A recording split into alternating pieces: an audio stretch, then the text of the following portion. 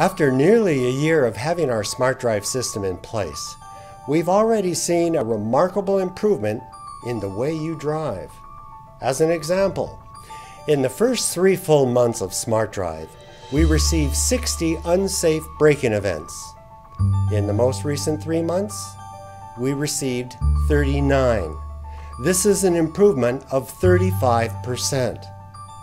Another example, in the first three months, we had 138 incomplete stops at stop sign events. During the last three months, that number has dropped to 60. This is an improvement of 57%. And in the first three months, we had 1,435 speeding events. In the most recent three months, that number went down dramatically to 306.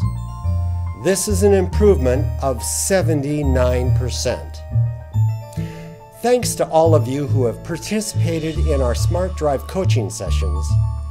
I know we can all do better, but the bottom line is this. Because of the Smart Drive system, we have all become better, safer drivers. Anytime you're driving safely, the chances of having a collision are dramatically reduced.